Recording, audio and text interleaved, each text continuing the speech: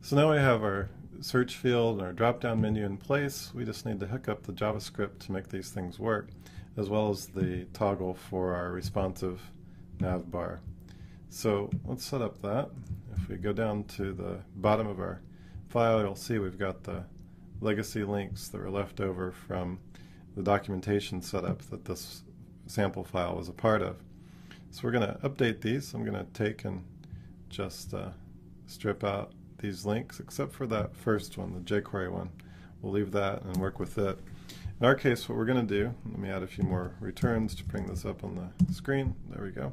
Um, we're going to take and link to a local version of jQuery. And if you've not done that before, you can go out to jQuery.com. It's very easy.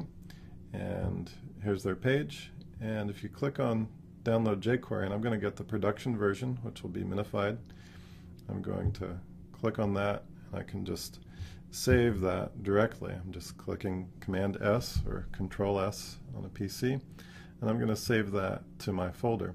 I've already got a version of it saved here, so I don't need to save it now.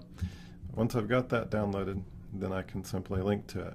So in the files I provided you today, you're going to find this file, and I like to just go ahead and double click on that and select all of it and get that full file name.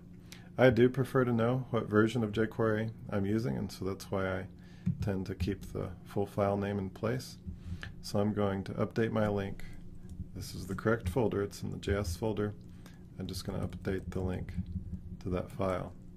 So that's a start, but it doesn't get us there yet because we need to add Bootstrap's plugin. So I'm going to copy that script line. I'm going to now link to the minified version of the compiled Bootstrap plugins, which came with the download from their main page. You'll see that's uh, bootstrap min.js.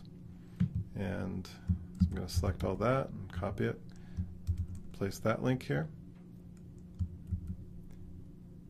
And that should be all it takes to get us rolling. So now I'm going to go to my page and refresh. I'm going to see if that drop down works.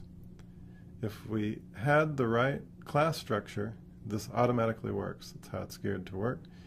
The class structure that we put in the HTML is what makes that link up appropriately. And because collapse is also included in that set of plugins, our collapsible responsive navigation works as well. So let me just show you a little bit more about what I've got in here for you. In this site I've got uh, a sample page where I've got notes regarding setup so that if you would like a little bit of help or some further notes on setting up the head section of your document, or perhaps an alternative way to set up your CSS with a parent style sheet that imports the Bootstrap styles, as I've done in these particular two pages, um, or setting up your JavaScript down at the bottom. I've got notes there. And over on the page navbar examples, I've got some further notes about setting up your navbar. On this page you can see then further notes about setting up the fixed navbar across the top, including some more extensive markup to include drop downs and pulled right elements, those types of things, and then CSS notes and JavaScript notes here under the tabs.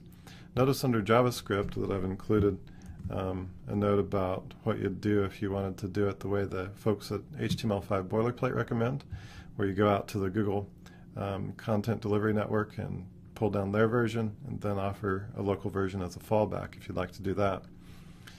Then I've got an example of a static full width navbar, including ways to adjust it for versions 2.0 or 2.1 or 2.02 of Twitter Bootstrap. And then at bottom, if you'd like to have a version of the navbar that fits within the container, here's how to set that up with a few notes on managing details there. So I hope that's handy to you enjoy it and I hope to see you soon. We'll be talking next, I think, about tabs and pills. We'll see you then.